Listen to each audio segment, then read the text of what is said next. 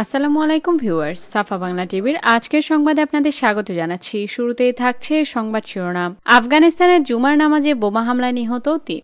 আরও থাকছে গুচ্ছ ভর্তি প্রক্রিয়ায় বাড়তি আবেদন ফি, ক্ষুব্ধ শিক্ষার্থীরা। জানাব নিখোঁজের পনেরো দিন পর খালে মিলল নারীর মরদেহ। স্থানীয় সরকার নির্বাচনের প্রতীক জান্না সেলিম ওসমান। প্রধানমন্ত্রীর ফ্রান্স সফর ঐতিহাসিক। সর্বশেষ থাকছে ইয়াবার বস্তার সাগরে ফেলে পালালো পাচারকারীরা। বিস্তারিত খবর জানতে ভিডিওটি শেষ পর্যন্ত দেখুন। দেশ বিদেশের সকল সংবাদ সবার আগে পেতে চ্যানেলটি সাবস্ক্রাইব করে রাখুন। চলে যাচ্ছি বিস্তারিত সংবাদে। জুমার নামাজ চলাকালে আবারও বোমা বিস্ফোরণে ক্ষতবিক্ষত হল আফগানিস্তান। তালেবানের কর্মকর্তা ও স্থানীয় বাসিন্দারা জানিয়েছেন এই হামলায় এখন পর্যন্ত তিনজন নিহত ও পনেরো জন আহত হয়েছেন। শুক্রবার বারো নভেম্বর দেশটির পূর্বাঞ্চলীয় নানগারহার প্রদেশের স্পিনগড় জেলার একটি মসজিদে এই হামলার ঘটনা ঘটে। স্থানীয় হাসপাতালের একজন চিকিৎসক বার্তা সংস্থা এ এএফপিকে জানিয়েছে, এখন পর্যন্ত তিনজন নিহত ও পনেরো জন আহত হয়েছেন। অতল সিন ওয়ারি নামে এক স্থানীয় বাসিন্দা জানান, স্থানীয় সময় দুপুর একটা ত্রিশ মিনিটের দিকে মসজিদের ভেতরে বিস্ফোরণ ঘটে। একজন প্রত্যক্ষদর্শী জানান, হামলায় তার চাচাও আহত হয়েছেন। হামলায় মসজিদের ইমাম সহ অন্তত পনেরো জনকে আহত অবস্থায় দেখেছেন তিনি। মসজিদে যেখানে ইমাম দাঁড়ায়, সেখানেই বোমা বিস্ফোরণ হয়েছে বলেও জানান তিনি। এখন পর্যন্ত কোনো দল বা গোষ্ঠী বিস্ফোরণের দায় স্বীকার করেনি। তবে তালেবান শাসিত আফগানিস্তানে সম্প্রতি জঙ্গি গোষ্ঠী আইএস একাধিক মসজিদে জুমার নামাজ চলাকালে হামলা চালিয়েছে। আগের হামলাগুলো শিয়াদের মসজিদে হলেও এবারের হামলা শিকার মসজিদটিকে মূলত সুন্নি মুসলিমরা নামাজ পড়তেন। নানগার হার প্রদেশ সরকারের মুখপাত্র কারি হানিফ বার্তা সংস্থা এপিকে জানিয়েছেন, বোমাটি সম্ভবত মসজিদের ভেতরে বসানো ছিল। এর আগে চলতি মাসের শুরুর দিকে কাবুলের একটি সামরিক হাসপাতালে আইএস খুরাসানের হামলায় অন্তত উনিশ জন নিহত ও অর্ধ শতাধিক আহত হন। গত অক্টোবরে দেশটিতে পরপর দুই শুক্রবার জুমার নামাজের সময় মসজিদে হামলা চালায় জঙ্গিরা। এতে প্রায় একশো জন নিহত ও কয়েকশো আফগান নাগরিক আহত হন। যাচ্ছি পরের সংবাদে। বিশ্ববিদ্যালয়ে ভর্তি পরীক্ষার জন্য দেশের এক প্রান্ত থেকে অন্য প্রান্তে আর ছুটতে হবে না। বাড়ির পাশে কম টাকায় কোনো রকমের ভোগান্তি ছাড়াই বসা যাবে পরীক্ষায়। এমন প্রত্যাশায় প্রথমবারের মতো দেশের বিশটি সাধারণ বিজ্ঞান ও প্রযুক্তি জিএসটি বিশ্ববিদ্যালয় নিয়ে গুচ্ছ ভর্তি পরীক্ষা শুরু হলেও দিন যত করাচ্ছে ভর্তি পরীক্ষার প্রতিটি ধাপ নিয়ে প্রশ্ন উঠছে। সবশেষে গুচ্ছ ভর্তির পরবর্তী ধাপ হিসেবে প্রতিটি বিশ্ববিদ্যালয় আলাদা করে আবেদন করতে হবে। ভর্তি পরীক্ষায় উত্তীর্ণদের আর এই ক্ষেত্রে প্রতিটি বিশ্ববিদ্যালয়ে দিতে হবে আলাদা ফিও। বিশ্ববিদ্যালয় ভেদে ভর্তিচ্ছুদের প্রতিটি ইউনিটে আবেদন ফি দিতে হবে ছয়শো থেকে ছয়শো পঞ্চাশ টাকা পর্যন্ত। আর এই ফি নির্ধারণ করা নিয়ে ক্ষোভের সৃষ্টি হয়েছে ভর্তিচ্ছুদের মাঝে। শিক্ষার্থীরা এ ফি তাকে তাদের উচ্চশিক্ষায় প্রবেশের ক্ষেত্রে বড় বাধা হিসেবে উল্লেখ করে তা বাতিলের দাবি জানিয়েছেন যাচ্ছি পরের সংবাদে। পটুয়াখালীর বাউফলে নিখোঁজ হওয়ায় পনেরো দিন পর ফেরদৌসি আক্তার নামের এক নারীর মরদেহ উদ্ধার করেছে পুলিশ। শুক্রবার বারো নভেম্বর সন্ধ্যায় উপজেলার দাসপাড়া ইউনিয়নের ফয়জুল আলী মৃধা বাড়ির দক্ষিণ পাশের ভুরভুরিয়া খাল থেকে ওই নারীর মরদেহ উদ্ধার করা হয়। জানা গেছে, ভুরভুরিয়া খালে একটি মরদেহ ভাসতে দেখে খবর পেয়ে পুলিশ ঘটনাস্থল এসে মরদেহটি উদ্ধার করে। বিষয়টি নিশ্চিত করে বাউফল থানার ভারপ্রাপ্ত কর্মকর্তা ওসি আল মামুন জাগো নিউজকে বলেন, মরদেহটি দাসপাড়া ইউনিয়নের পাঁচ নং ওয়ার্ডের বাসিন্দা জাকির মৃধার স্ত্রী মোসাম্মদ ফেরদৌসি আক্তারের বলে শনাক্ত হয়েছে। তিনি গত উনত্রিশ অক্টোবর ডাক্তারের কাছে যেতে বাড়ি থেকে বের হয়ে আর ফেরেননি। ওসি জানান, ওই নারী নিখোঁজ হওয়ার পরে বিষয়ে থানায় একটি সাধারণ ডায়েরি করা হয়েছিল। পরিবারের সঙ্গে যোগাযোগ করে মরদেহ হস্তান্তর করা হয়েছে।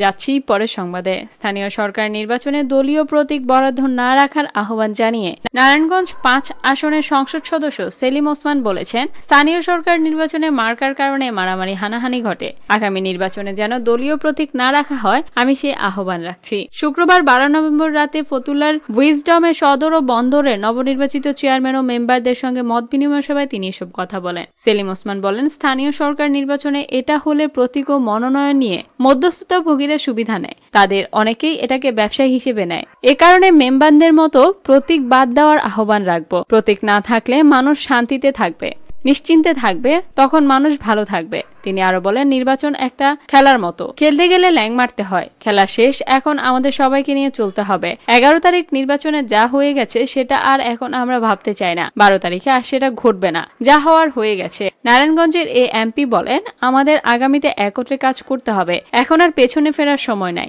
নির্বাচনে যা ঘটেছে, সেটা আর পুনরাবৃত্তি ঘটাতে চাই না। সবাই যেন একত্রে কাজ করে, নির্বাচনে যারা জিতেছেন, তাদের কাজ হবে যারা হেরে গেছেন, তাদের সঙ্গে মিল রেখে কাজ করা। কারণ সবাই এলাকা এলাকার উন্নয়নের জন্য কাজ করছেন। সাংবাদিকদের উদ্দেশ্যে সেলিম ওসমান বলেন, আমি প্রেস মিডিয়ার কাছে অনুরোধ করব। আমরা যাতে শান্তিতে থাকতে পারি। সেভাবে সংবাদ পরিবেশন করবেন। আমাদের বিগত দিনে অনেক ক্ষতি হয়ে গেছে করোনার কারণে। আমাদের সামনে সময় কম। এখন সবার সহযোগিতা ছাড়া এগোনো সম্ভব না। এ সময় নারায়ণগঞ্জ সদর ও বন্দর উপজেলার নবনির্বাচিত ইউনিয়ন পরিষদের চেয়ারম্যান ও মেম্বাররা উপস্থিত ছিলেন। যাচ্ছি পরের সংবাদে। প্রধানমন্ত্রী শেখ হাসিনার ফ্রান্স সফরকে ঐতিহাসিক বলে উল্লেখ করেছেন পররাষ্ট্রমন্ত্রী ডক্টর এ কে আব্দুল মোমেন। তিনি বলেছেন, ইউরোপীয় দেশটি তার প্রধানমন্ত্রীর প্রতি বিরল সম্মান প্রদর্শন করেছে। তারা বাংলাদেশের সঙ্গে দ্বিপক্ষীয় সম্পর্ক নতুন উচ্চতায় নিতে আগ্রহ প্রকাশ করেছে। শুক্রবার প্রধানমন্ত্রীর বাসভবনের স্থানে সাংবাদিকদের সাথে আলাপকালে তিনি আরও বলেন, এ সফরে শেখ হাসিনা যে সম্মান পেয়েছেন, এ পর্যন্ত বাংলাদেশের কোন রাষ্ট্র অথবা সরকার প্রধান তা পাননি। ফ্রান্স সফরকালে শেখ হাসিনার সম্মানে আয়োজিত বিভিন্ন ব্যবস্থার কথা তুলে ধরে মোমেন বলেন, ফরাসি প্রেসিডেন্ট, প্রধানমন্ত্রী এবং অন্যান্যরা তাকে উষ্ণ অভ্যর্থনা জানিয়েছেন। এতে দ্বিপক্ষীয় সম্পর্ক নতুন উচ্চতায় নিয়ে যাওয়ার আগ্রহ প্রতিফলিত হয়েছে। তিনি বলেন, বিমানবন্দর এবং এলইসি প্রাসাদে প্রধানমন্ত্রীকে লাল গালিচা সংবর্ধনা দেওয়া হয়। এছাড়া ফরাসি প্রেসিডেন্টের সরকারি বাসভবনে শেখ হাসিনাকে গার্ড অব অনার প্রদান করা হয়। পররাষ্ট্রমন্ত্রী বলেন, ইউনেস্কো সম্মেলনে যোগদানকারী বিভিন্ন দেশের সরকার ও রাষ্ট্রপ্রধান প্রধানমন্ত্রী শেখ হাসিনার নেতৃত্বে বাংলাদেশের উন্নয়নের ভূয়সী প্রশংসা করেন। এ সময় অন্যান্যদের মধ্যে প্রধানমন্ত্রীর প্রেস সচিব ইসানুল করিম, পররাষ্ট্র সচিব মাসুদ বিন মোমেন এবং প্রধানমন্ত্রী উফ্রেস সচিব কে এম শাখাওয়াত মন উপস্থিত ছিলেন। যাচ্ছি পরের সংবাদে। প্রবালদ্বীপ সেন্ট মার্টিনে ছেড়া দ্বীপ সংলগ্ন গভীর সমুদ্র থেকে চারটি বাদামি রঙের প্লাস্টিকের বস্তা থেকে সাত লাখ আশি হাজার পিস ইয়াবা উদ্ধার করেছে বাংলাদেশ কোস্ট গার্ড। শুক্রবার সকালে বিপুল পরিমাণ এ ইয়াবার চোরাচালান উদ্ধার করা হয়। রাত দশটার দিকে কোস্ট গার্ড সদর দপ্তরের মিডিয়া কর্মকর্তা লেফটেন্যান্ট খন্দকার মনিফ স্বাক্ষরিত এক সংবাদ বিজ্ঞপ্তিতে বিষয়টি জানানো হয়েছে।